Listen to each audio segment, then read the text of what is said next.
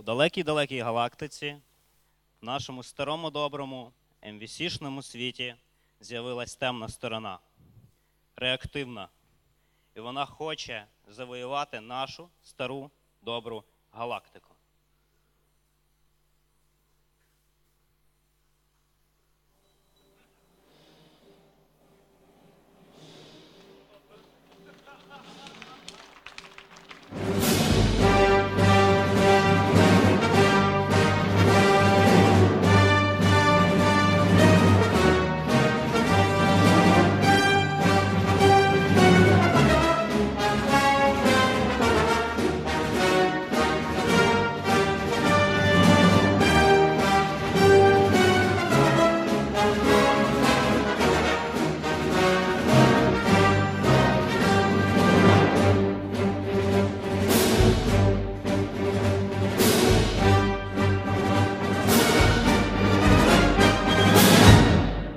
Я посиплю за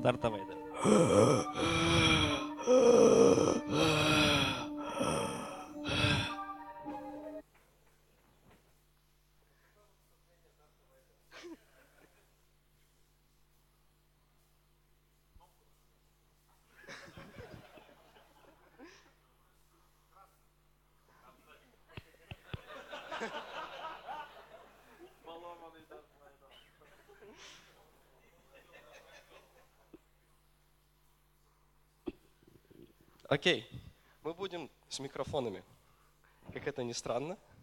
И начнем с того, что просто хотя бы запустим нашу презентацию, которую, которая почему-то не запустилась.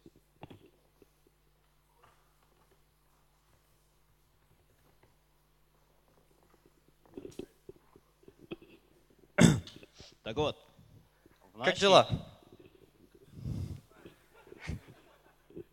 В нашій, в нашій галактиці з'явилась нова сила. От, реактивна. Про неї всі говорять, і вона захоплює все нові і нові території.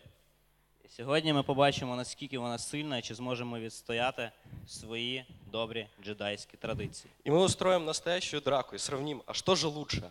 Лучше реактивный ситховый стек или старый джедайский стек? Старий джедайський, старий добрий. И мы разделимся на две группы, которые будут болеть за два отдельных стека. И начнем мы с того, что просто познакомимся с нами. Начнем с того, что познакомимся с нашим Дартом Вейдером, то есть мною. Наш Дарт Вейдер, а в звичайному житті звати Олег, софтвер-інженір в Levi 9, а також виступає на конференціях, таких як JIACON, Java Day та інших, і він в тому числі є комітер а, до проекту Reactor, який є дуже сильною темною бібліотекою в нашому сучасному світі. И наш джедай, наш мастер-джедай Игорь, тоже софтвер-инженер с богатым опытом построения, как ни странно, ситховых технологий, тоже активный спикер и просто классный чувак. И начнем мы с нашего, собственно, наш доклад с того, что поговорим, а что же лучше, ситховый стек или джедайский стек? и посмотрим, а как же это подходит в новым, модерным, галактическим технологиям, позволит ли это построить нашу новую галактику, используя Spring. Итак, как мы будем сравнивать, что же лучше, какие технологии лучше и как понять, что лучше в использовании, а что хуже? Начнем с того, что посмотрим, а что же нам нужно для построения сегодняшней галактики, особенно с использованием спринга. Посмотрим, как же легко использовать, например, ситховые подходы, реактивные подходы и как сложно использовать старые джедайские. Посмотрим, насколько будут подходить эти подходы в построении новых галактических кораблей. И посмотрим, насколько они быстры. Так мы будем сравнивать, что же лучше.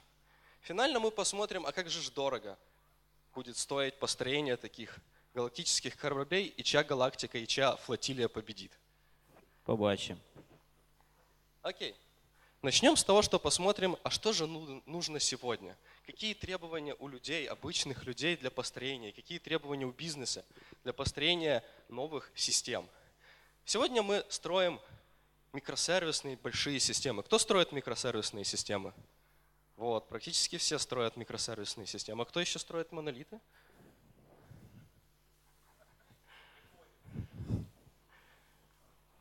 Но это не все.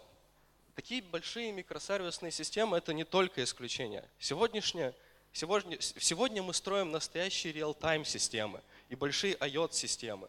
Так как у нас каждый чайник, практически каждая машинка, каждый пылесос, каждый маленький робот тоже является маленьким сервером и отправляет сигналы, которые нужно обрабатывать. И на это надо тратить много-много ресурсов. І Плюс кожен, помимо... і кожен воїн темної імперії має по кілька датчиків і шле- шле все на центральний Ну, корабель. да, и как у меня, вот один датчик, вот второй датчик, вот третий. Еще в этой маске невозможно дышать. Как он вообще ходил? Я не представляю. Плюс надо отображать данные в реальном времени. Надо стриминговые системы строить. Как же ж корабли будут понимать, куда лететь? Куда им держать курс? Нужно постоянно мониторить их. И все как бы было бы окей, если бы не как бы не требование к тому, что надо все отследить. Соответственно, нужны реал-тайм системы, которые будут отдавать нам данные вот прямо сейчас. И вот построение таких систем требует новых технологий, новых реактивных подходов. И я уверен, что старые джедайские технологии вообще не подойдут. Ти помиляєшся. Старі джедайські технології впродовж мільйонів років, гаразд, десятків років, підтримували все те, що ти зараз називаєш сучасними вимогами, тільки без хайпових назв.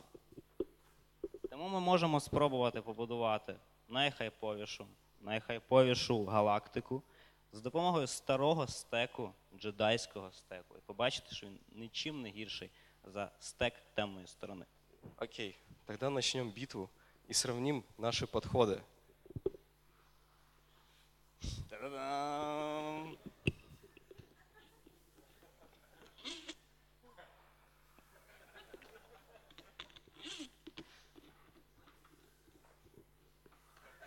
Окей, что же такое старый, не крутой джедайский стек?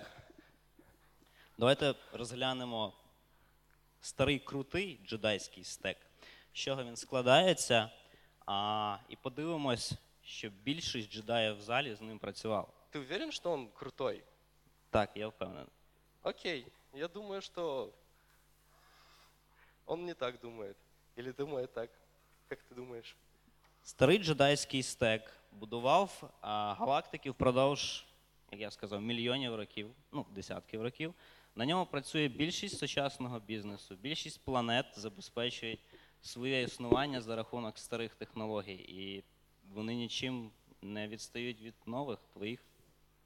Окей, давай посмотрим. В первую очередь давайте поймем, а что же такое джедайский стек, а что же такое ситховый или реактивный настоящий стек. Начнем с того, что... Давай, познакомь нас со старым джедайским стеком. Що в основі лежить будь-якого стеку? Хороший поінт. Хороший поінт. А в нашому випадку це старий добрий Spring Boot. Хто використовує Spring Boot? Бачиш, От, всі круто. використовують Spring Boot. А Це- еще у вас есть? Це старий стек. Хто використовує Spring Data? Це теж перевірений часом джедайський стек. Ще у нас є WebMVC. Хто використовує WebMVC? Бачиш? І все це запускається на такому няшному тамкатіку. Хто використовує тамкат? Ці технології перевірені часом. Ці технології і є тими мідіхлоріанами, які забезпечують нашу силу. Наш ситховый стек намного мощнее. Наш новый ситховый стек построен на самом-самом свежем Spring Boot 2. Кто использует Spring Boot 2? Не так много ситхов в нашем зале, но ничего, мы тебя победим. Плюс новый реактивный ситховый стек заключается в том, что он использует новую реактивную Spring Data. Кто использует уже новую реактивную Spring Data? Почему так мало моей армии людей, которые используют новые реактивные ситховые подходы? Вдобавок, все построено на новом Spring Web Flux. Кто использует Spring Web Flux уже? Ничего. Новые ситхи победят тебя и заполонят всю галактику. Что еще? Внутри Spring Web Flux используется Netty. Кто знаком с Netty? Вот, видишь, больше ситхов в нашем зале, скрытых ситхов, латентных ситхов. И, естественно, чтобы писать классный ситховый код, используется реактор, настоящий реактор. Кто, кстати, использует реактор? А кто когда-то писал на RxJava? Ничего, мы все равно тебя победим. Окей, давай же что-то построим, крутое, чтобы понять. Давай На самом- побудуємо на Татуїні криптоплатформу. На самом деле, кто вчера был на моем докладе? Вот.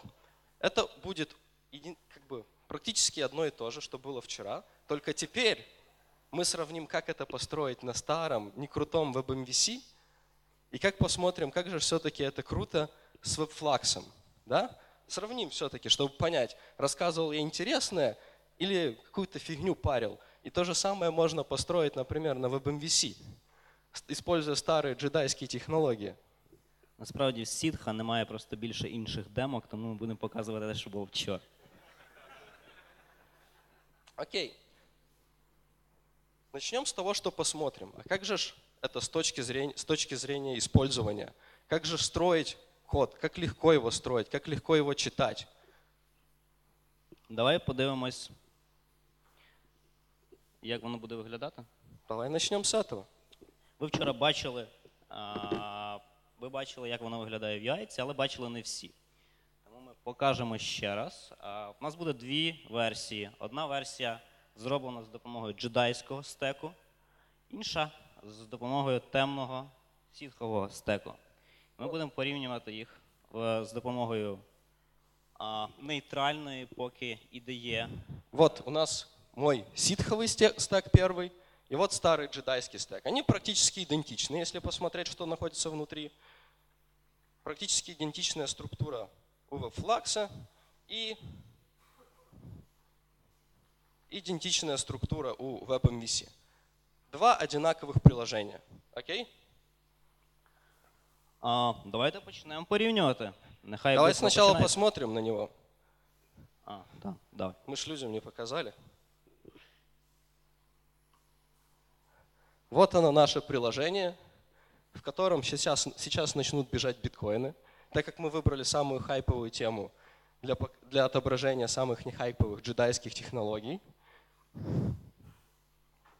И, как всегда, интернет нас подводит, потому мы подключимся с нашего локального.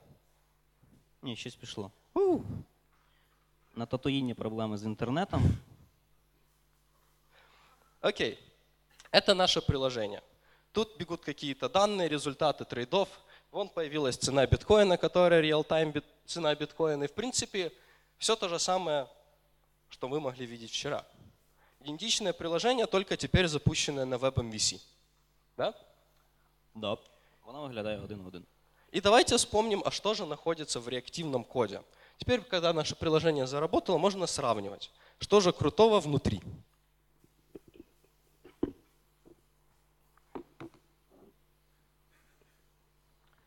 Давайте покажи, як у нас виглядає просто та красиво джедайський індекс-контролер. Индекс-контроллер. Вот он. Самый-самый обычный примитивный индекс-контроллер. Кто Ин- такие индекс-контроллеры строил или просто контроллеры строил? Вот, все строили, строили. В принципе, я думаю, у тебя такой же контроллер. И разница между... Це мій контролер. Правильно, это ситховый контроллер. И он не отличается от ваших джедайских технологий. Сила-то одна и та же внутри нас течет. Понимаешь? И разницы практически нету. Если посмотреть теперь на то же самое, на старый джедайский подход, к которому вы могли уже привыкнуть, вы увидите, что то же самое тут находится. И никакой практически разницы. А теперь давай посмотрим на чистый ситховый код, который просто течет. И посмотрим, а как же наши данные принимаются и проходят через всю нашу систему, через все наши внутренности. Посмотрим на этот чистый код. Вот он. Прекрасный код, который проводит данные от самого начала, от самого клиента к концу. И этот код можно прочитать. И он оптимальный, и он быстрый, и он асинхронный. А давай посмотрим на твой код. Покажи свой код теперь. Давай глянемо на код джедаїв для обробки веб-сокетів. Це сітховий.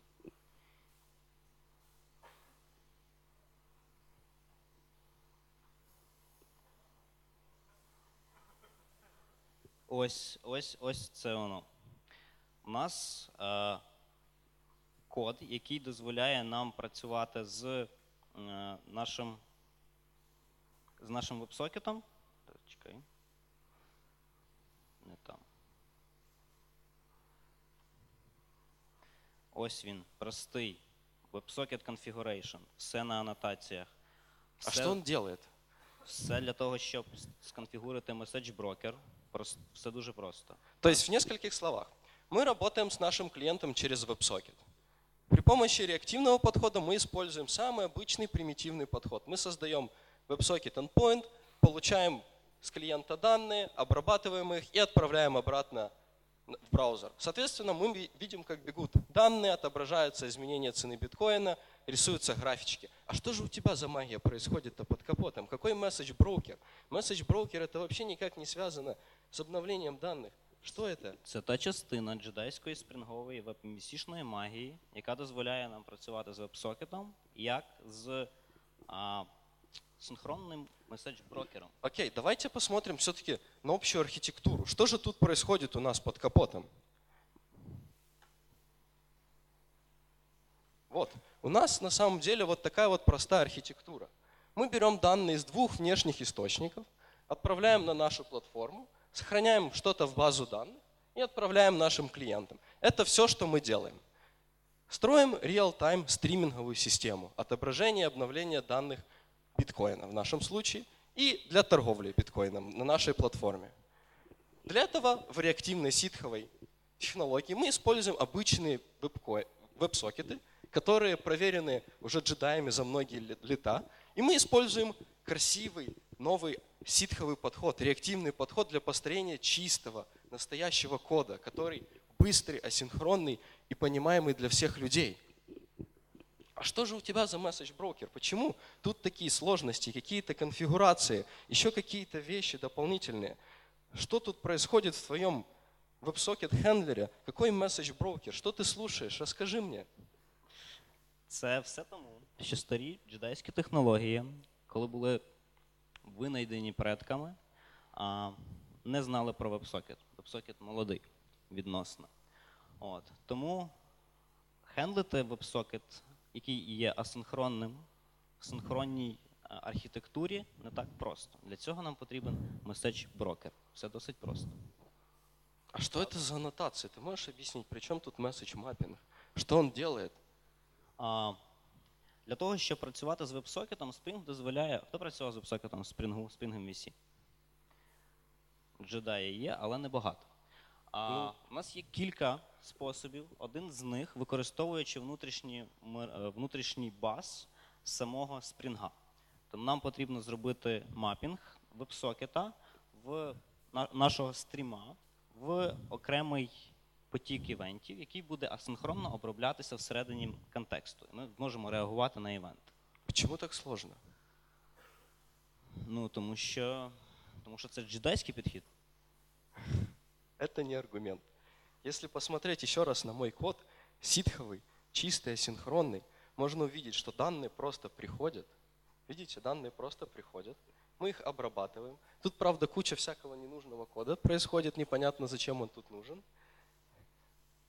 Дальше мы, наконец-то, обрабатываем логику. Вот она, наша логика, чистая логика. Где твоя логика? Я не вижу в твоем коде логики.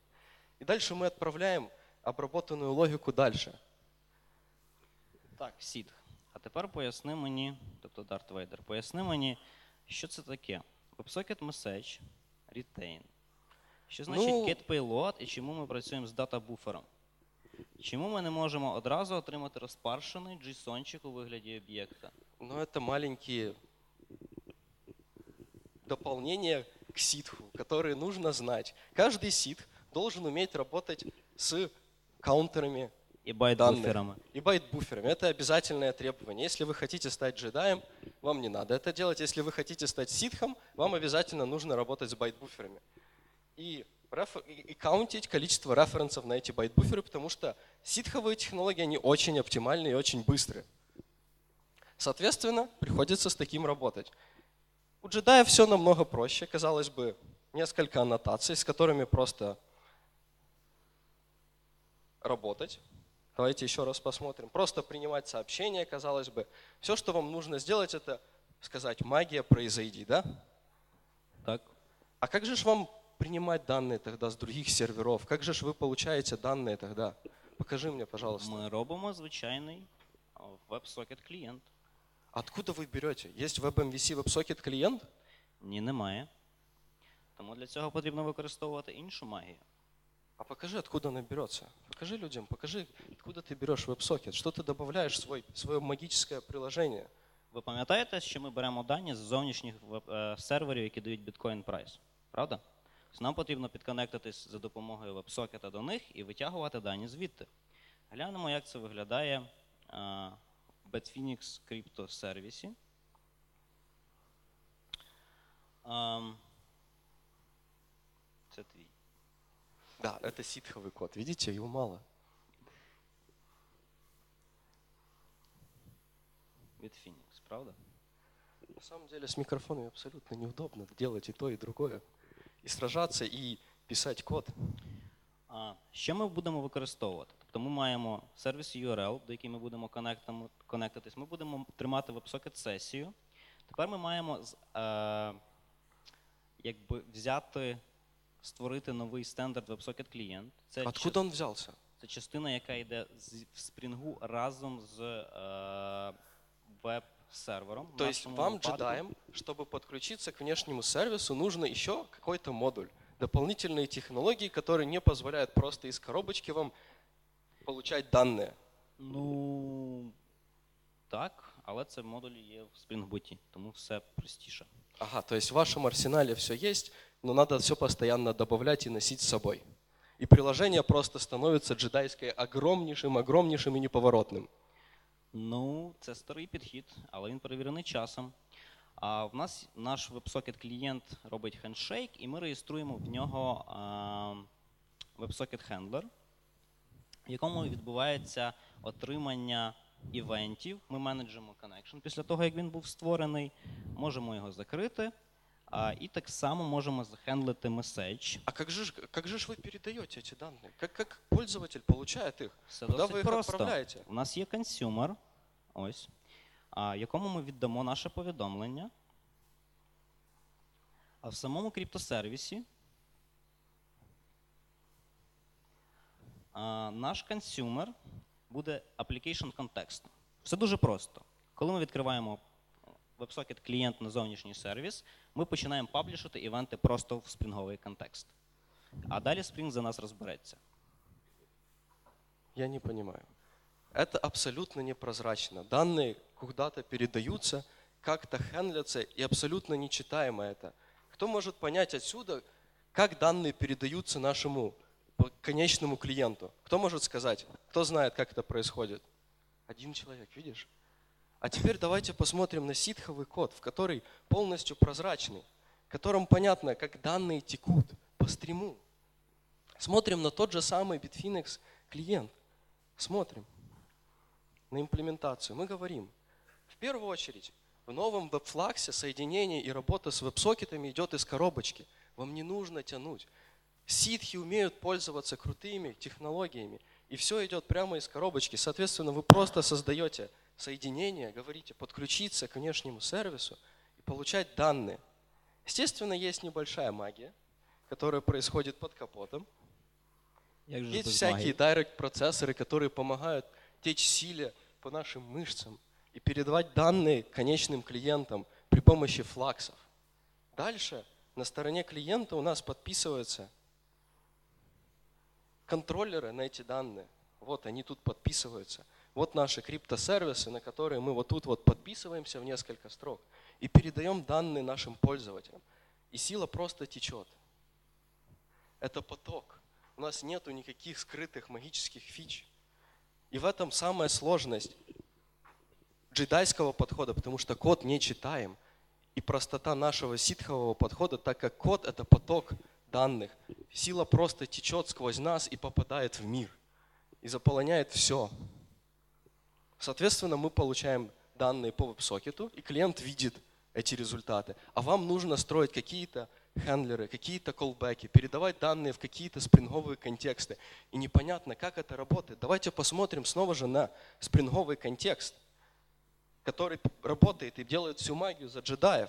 Они врут, никакой силы у них нет, это все их скрытые технологии.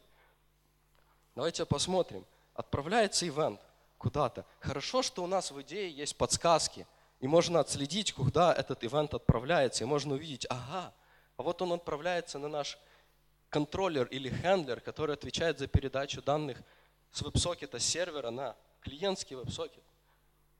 И тут происходит какая-то дополнительная магия, происходит подписка.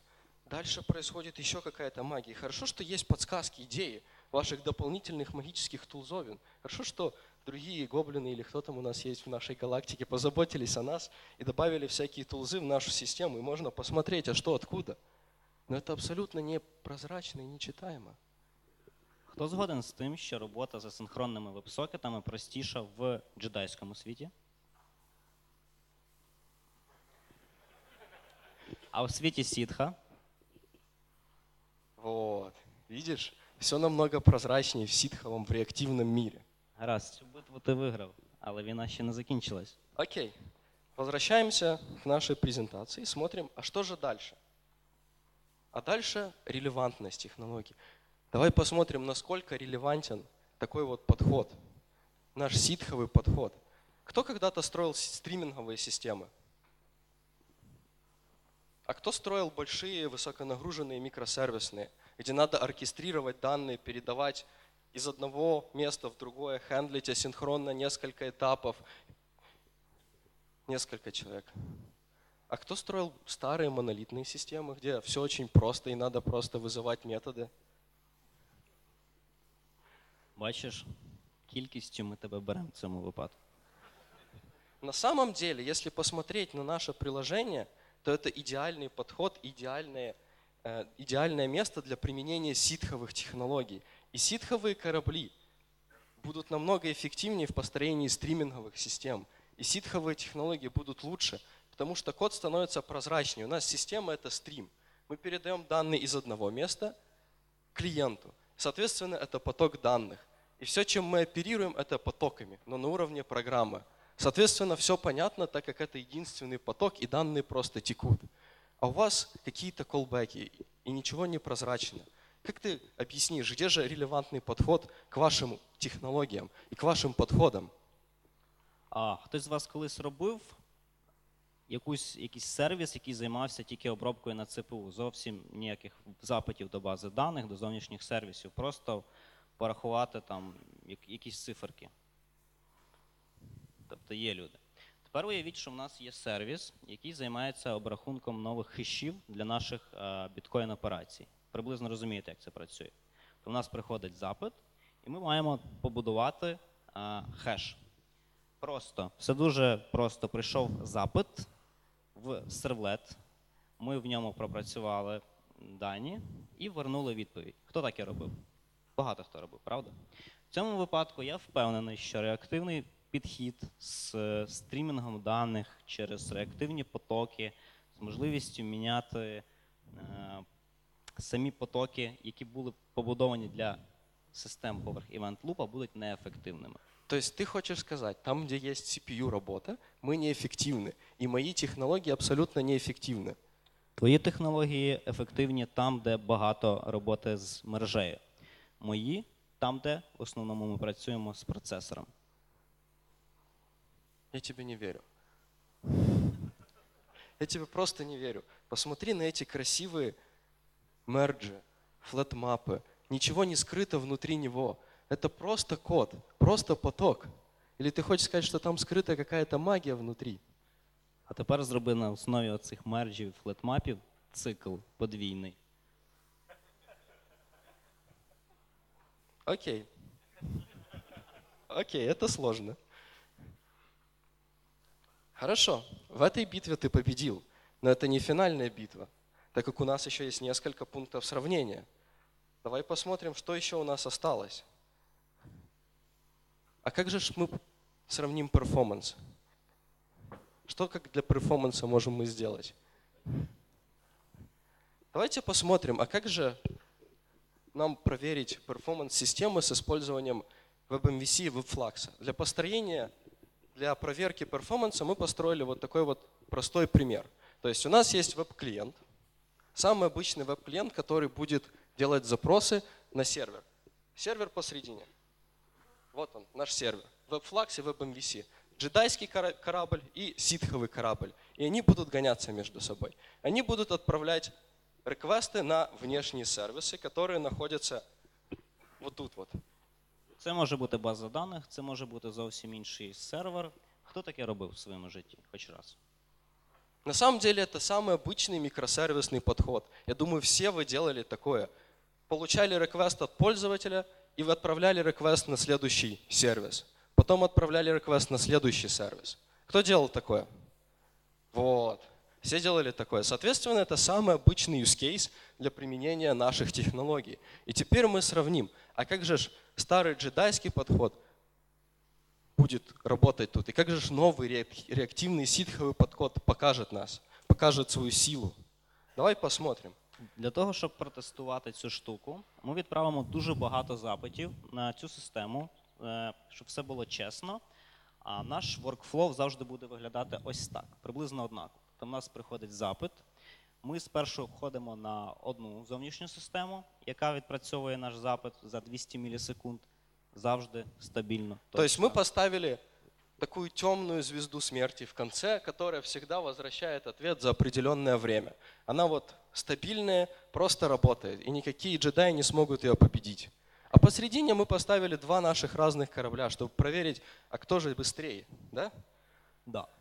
От. І ця от штука працює приблизно, приблизно так. Один запит на 200 мілісекунд, повернули результат, знову ж його заслали на новий сервер, той відпрацював за 200 мілісекунд і повернув результат. І ми хочемо з'ясувати, а наскільки ж а, добре цей от вхідний реквест, який виливається в два зовнішніх реквеста, пропрацьовує в наших кейсах.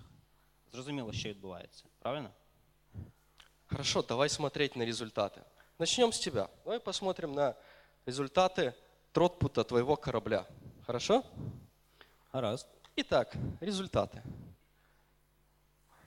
Как вы думаете, чей корабль тут синий, а чей корабль тут красный? Правильно. Правильный ответ – ситхи красные. Видите, как, насколько мы быстрее и насколько мощнее мы пропускаем запросы и насколько медленней джедайский корабль. Вот если посмотреть, вот он, джедайский корабль, и тут джедайский корабль посреди путешествия вообще обломался. Сказал, все, не буду жить. А, Ви розумієте, що на цьому графіку знизу у нас кількість паралельних запитів, які приходять на основний сервіс, на наш, на наш корабель, який ми тестуємо.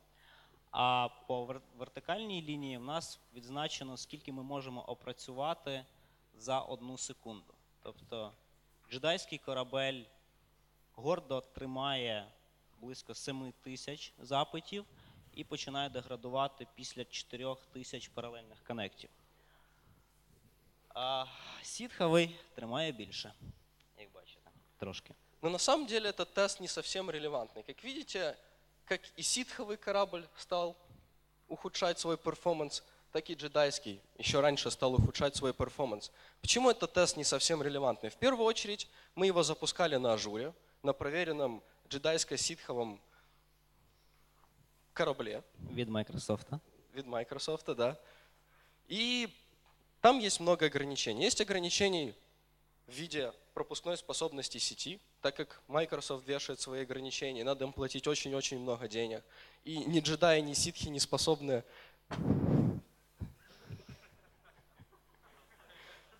оплатить такой взнос. Соответственно, мы решили упростить тест, и вместо того, чтобы отправлять реквесты на внешнюю систему, отправлять, делать тайм-аут, говорить, окей, мы сымитируем реквест на внешнюю систему, мы подождем, мы сделаем паузу. Практически тот же кейс, только мы не делаем network call, а мы делаем паузу. С этим понятно, да? Окей, что же вышло? Давайте посмотрим. А вышла следующая ситуация. Вгадайте, чий червоний. Правильно, это ситховый корабль, реактивный. Но перформанс стал еще выше. Видите, нет ограничений по сети, перформанс стал расти, но джедайский корабль все так же медленен и На не жаль, способен обработать. на жаль, в цій битві джедайський корабель зупинився на 12 тисячах А почему так паралельних случилось? коннектів. И почему в- ваши корабли такие медленные? Как ты можешь объяснить такой прокол в технологиях? Тому що наші кораблі для кожного вхідного запиту створюють новий потік. Всі згодні, що там Cat, Jetty створюють новий потік на кожен вхідний потік, ну, реквест. Ось. І це те обмеження, яке не дає нам вилізти а, за певний розмір а, пула потоків, після чого і GVM перестає непогано ну, погано працювати, починає, і пам'ять закінчується. То есть у вас есть какой-то скрытый механизм, который конкурирует между собой, свечится между этими потоками и, соответственно, забирает лишние, лишний перформанс. Е, Всі приблизно розуміють, як працює шедулер операційної системи, правда? То він займається вгадуванням того, який потік потрібно розбудити для того, щоб е, пропрацювати запит. І от коли в нас цих потоків багато, в нашому випадку там більше 10 тисяч, це не така проста задача, вона займає час, пам'ять, а, І в якийсь момент Tomcat просто вмирає. В реактивном ситховом мире у нас нет лишних потоков. У нас работает всего лишь несколько скрытых ситхов, работают своими мечами и обрабатывают все-все-все реквесты, убивают всех врагов. Соответственно, нам не нужна конкуренция. У нас есть несколько мощных ребят, несколько тредов в, тред, в event лупе, которые обрабатывают все реквесты. Соответственно, конкуренции нету, никаких преград нету, никаких потерь по памяти нету. Соответственно, мы работаем намного быстрее. И если проанализировать еще такие вещи, как latency и потребление памяти, то мы увидим, что ситховые технологии намного эффективнее. Давайте посмотрим, как эффективно мы утилизируем CPU. Видите, синее – это джедайские технологии, абсолютно неэффективные. Они сразу выжирают весь CPU. Когда ситховые реактивные технологии, они с увеличением потребности со стороны пользователей начинают использовать больше CPU и используют его намного эффективней. В свою очередь, если мы посмотрим на потребление памяти, то мы увидим, что джедайские технологии абсолютно неэффективны и прожорливые. Снова же, синяя, вот она, джедайская старая рухлядь, которая сжирает всю память и умирает. А вот наши ситховые технологии, стабильные, стабильные на протяжении всего времени, сколько бы ни было реквестов, одинаковое потребление памяти. Как Який ты висновок можемо зробити в цьому? А, Ми розуміємо, що для того, щоб виграти битву, джедайським старим технологіям потрібно як мінімум вдвічі, втричі більша кількість кораблів. І по пам'яті, і по ЦПУ. А наши ситховые подходы намного эффективней, и наша битва может быть выиграна с двое меньшим количеством кораблей. То есть вы в своих сражениях, в своих, своих сражениях с кастерами можете сэкономить больше денег и потратить деньги на изучение новых технологий, Вместо того, чтобы тратить на лишнюю инфраструктуру и на лишние корабли. Да? Вот так вот шахимат старым джедайским технологиям. Ну, тобто ми розуміємо, що тут в цьому випадку ефективніше використовувати сітхові технології, коли в нас основне обмеження це сервера. Але в нашому світі головне це що? Правильно? Люди. Давай подивимось, скільки коштує для нас використовувати сітхові технології по відношенню до старих, перевірених часом. То есть ты джедайських. хочешь сказать, что наши технологии очень сложны. Их то- сложно учить, их сложно осязать, да? Саме так. Згадай байт-буфери в нетті. Окей. Хорошо, тогда расскажи, сколько вы тратите времени на, изучение, на обучение своих джедаев? В середньому два дні по туторіалу від Раджі Мандагана. А скільки витрачаєте ви, сітхи, на навчання одного свого бійця? Мы тратим годы. Ось нам потрібно більше серверів, зате в нас є люди, і їх легше вчити. Ваша, ваша школа вона складніша, вона не така проста, і вам не так просто буде завоювати цей світ. Но мы намного эффективней. И война может быть выиграна намного быстрее, если будут обученные хорошие ситхи работать с данными технологиями, управлять кораблями. Ты понимаешь это? Вот в чем суть. В эффективности, а не в количестве людей и в простоте их обучения. Там индусы сидят и учат по гайду Раджима. А у нас один джедай изучает годами реактивные ситховые технологии, осязает суть, понимает силу. И тогда он становится настоящим бойцом. Але він не може вступити в бій так швидко, як можуть вступити джедаї. Это аргумент. Окей. Но давайте сделаем небольшой итог. Давайте подумаем, а как же мы можем применить данные подходы и как же ж вынести из этого какую-то суть? На самом-то деле вы должны подбирать свои, в свои проекты технологии сами. и вы должны осознавать, а что же подходит под ваш выбор. Вы должны понимать, какая, какой стек у вас используется. Это микросервисная система или это стриминговая система.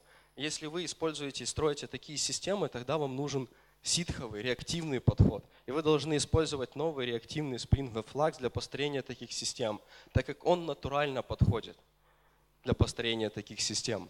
Якщо ж ви працюєте зі старим, е, не старим, а звичним, перевіреним часом, підходом, коли у вас є трирівний application, у кого трирівний application?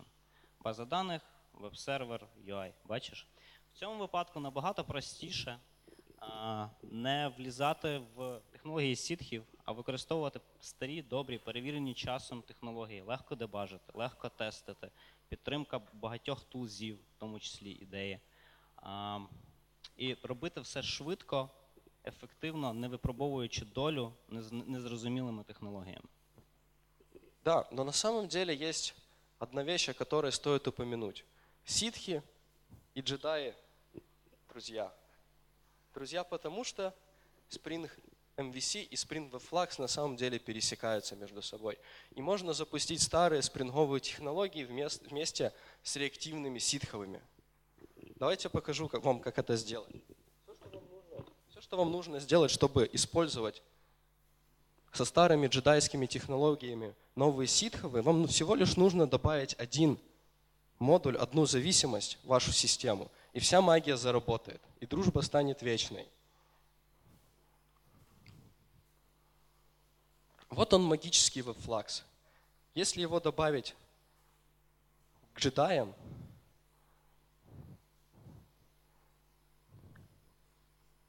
произойдет магия. И у нас будет реактивные ситховые технологии вместе со старыми джедайскими. И вы сможете использовать старые императивные подходы эффективно. Потому что на самом деле старые джедайские технологии, они тоже быстрые. И под капотом используется сервлет API 3.1. Кто слышал про сервлет API 3.1? Серлет, серлеты 3.1, они асинхронные и не блокирующие тоже.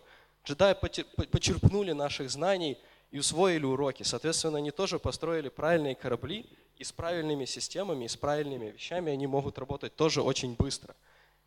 И общее в них заключается в том, что мы используем одинаковые подходы, такие как контроллеры, но вдобавок к этому мы используем реактивные клиенты от ситхов, которые позволяют нам не блокирующе асинхронно коммуницировать с внешними сервисами.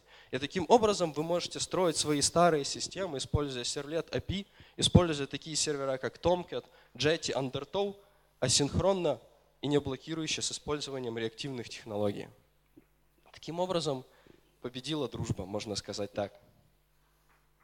И одно слово, которое мы хотим добавить, это то, на что еще посмотреть после нашего доклада, который затронул несколько разных тем, но все-таки нужно вынести какой-то вывод и посмотреть, а что же делать с этим дальше, что читать. В первую очередь, если вы боитесь приходить к ситховым технологиям, я советую вам почитать блог от Netflix и посмотреть, а как же они покинули джедайские корабли и перешли на новые ситховые. И какие они проблемы узнали во время перехода. Что еще? Если вы хотите почитать, а что же лучше, вы можете посмотреть на сравнение RxNet от того же Netflix с Томкатом. Там более подробное описание, что же происходит под капотом и почему Netty такой быстрый, а Tomcat такой медленный.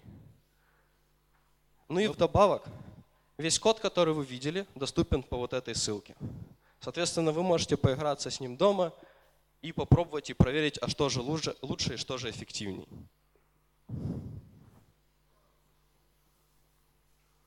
Если у вас есть вопросы, задавайте. И всем спасибо.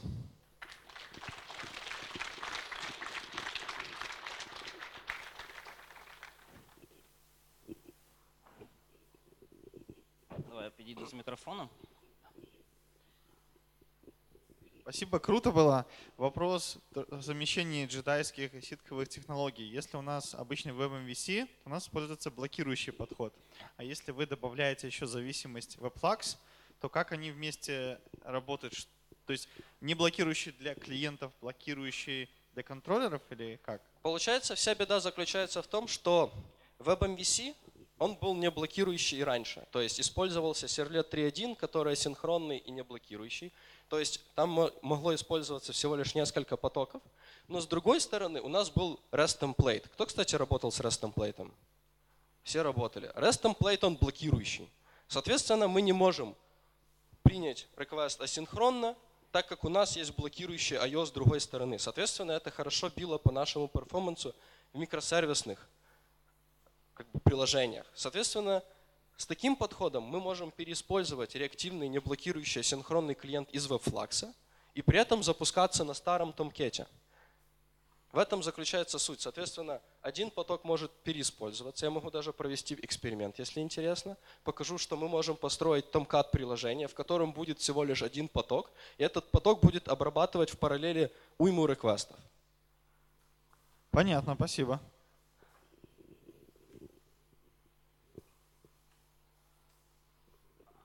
Еще вопросы?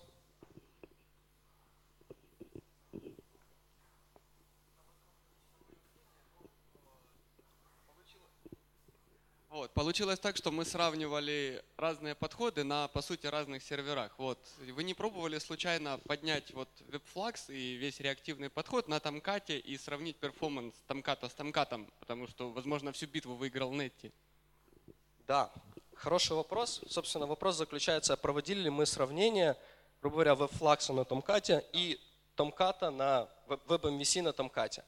Мы планируем провести такое перформанс-сравнение. На текущий момент мы его не делали, но основная суть заключается в том, что основная беда WebMVC подхода заключается в том, что это thread per connection. То есть у нас создается для каждого клиента новый thread. Соответственно, если мы не ограничиваем количество тредов для каждого клиента, чтобы все было, чтобы улучшить user experience, у нас начинается борьба между потоками, так называемый контекст switching. Соответственно, в WebMVC это стандартная проблема.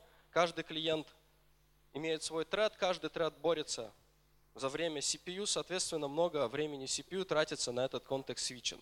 С WebFlux у нас используется определенное количество потоков, и так как мы делаем колы на внешние системы, асинхронно не блокирующие, мы отпускаем треды, эти треды могут обрабатывать другие клиентские запросы. То есть у нас может быть пул тредов, который обрабатывает миллионы реквестов от пользователей. И это может быть точно так же Tomcat с WebFlux. И он будет работать практически точно так же, только чуть-чуть медленнее.